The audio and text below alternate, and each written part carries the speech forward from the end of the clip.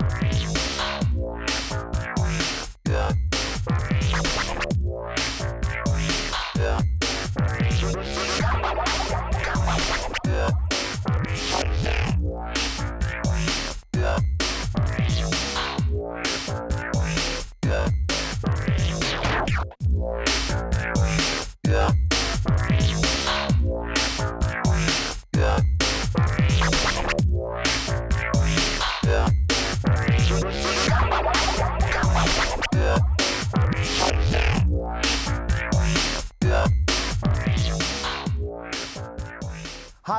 my name is Bruce, and welcome to our second lesson in this series. In this lesson, we will look at the relationship between solubility and temperature. We already know that a chemical reaction exists between a solute and a solvent to make up a solution. However, is energy absorbed or released in this process? What effect does temperature have on the dissolving process?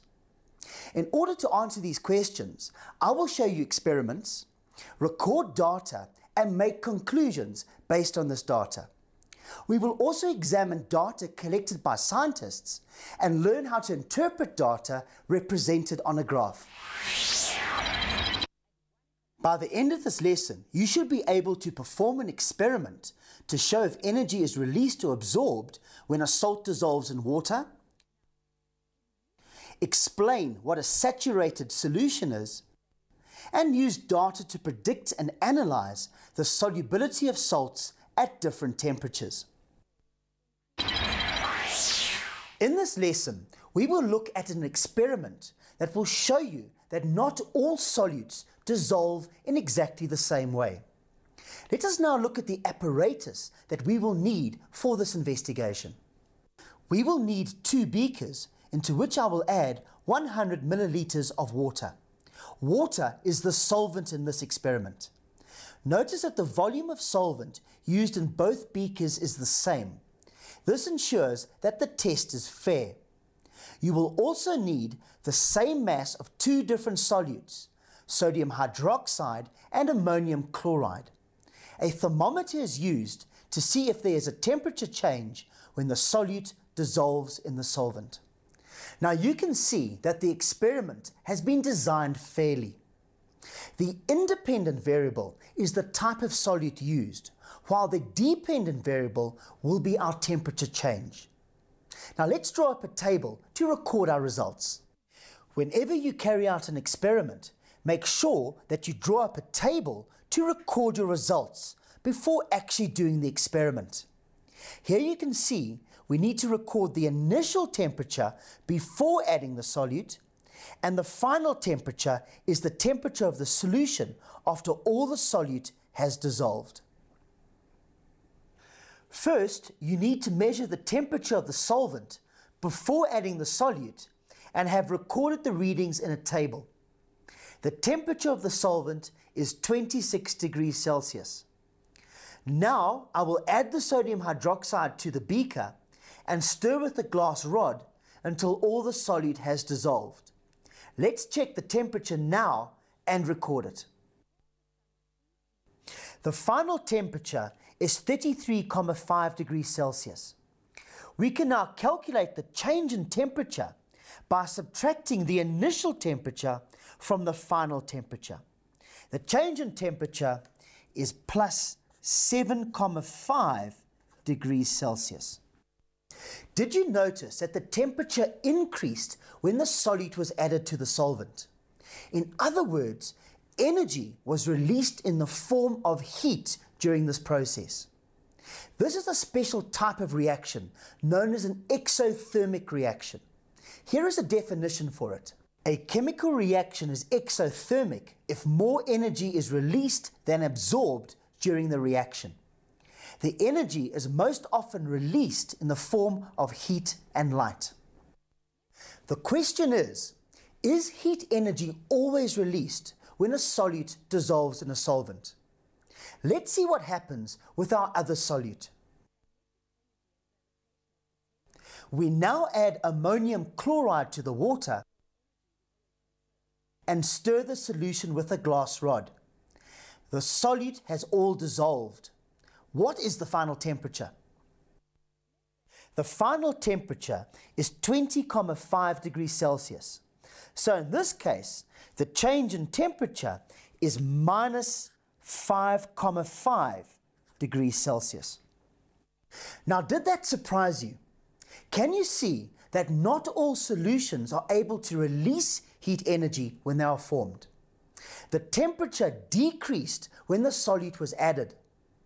The reason for this decrease in temperature is that the solution absorbs energy from the surrounding environment. This is known as an endothermic reaction. A chemical reaction is endothermic if more energy is absorbed than released during the reaction. Endothermic chemical reactions often require large amounts of heat to get started.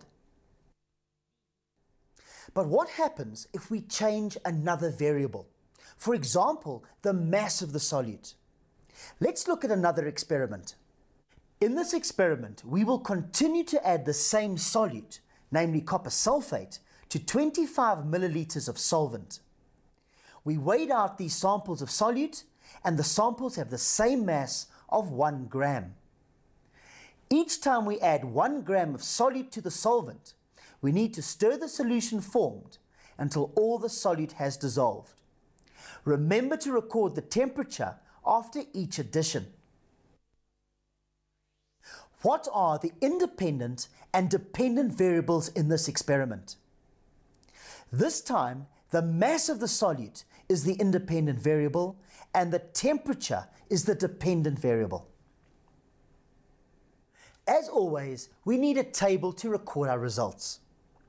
This is how my table would look. Right, let's look at the experiment.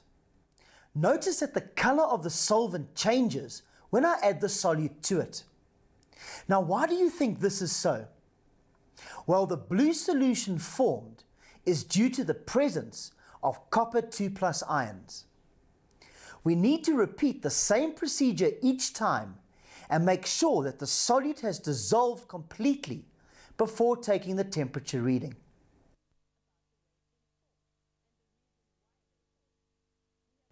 Before I analyse the results of this investigation, there are some important observations that I would like you to take note of.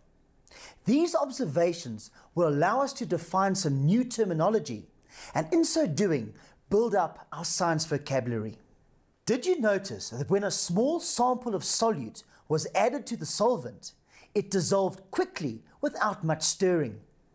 Did you also notice that the solution formed was a very pale blue color? This type of solution is called a dilute solution. A dilute solution has a small amount of solute compared to the amount of solvent. Do you notice that as more solute is added, the blue color becomes darker? This is called a concentrated solution. A concentrated solution has a large amount of solute compared to the amount of solvent. Now, as the solution became more concentrated, did you notice that it was taking longer for all the solute to dissolve into the solvent compared to our very first dilute solution? If this is true, then there must be a point at which no more solute can dissolve into the solvent at that particular temperature. Here is the beaker which contained 25 milliliters of water at the beginning of the experiment. We have added 12 grams of solute to it. The last sample of solute just does not want to dissolve at this temperature. This means that this is now a saturated solution. A saturated solution is a solution in which no more solute will dissolve at the present temperature of the solution.